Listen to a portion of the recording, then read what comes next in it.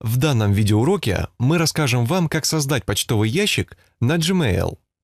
Запустите ваш браузер и в адресной строке введите gmail.com. Когда страница загрузится, в правом верхнем углу нажмите кнопку «Создайте аккаунт». В новом окне нам необходимо ввести анкетные данные.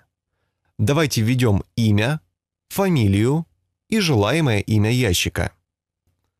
Далее создадим безопасный пароль, состоящий из букв и цифр длиной не менее 8 символов.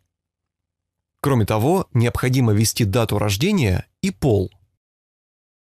После этого введем буквы с рисунка, поставим галочку напротив слов «Я принимаю условия использования» и нажмем кнопку «Далее». В следующем окне просто добавим фото и нажмем «Дальше». Как видите, мы успешно создали ящик на Gmail – и теперь можем перейти ко входящим сообщениям.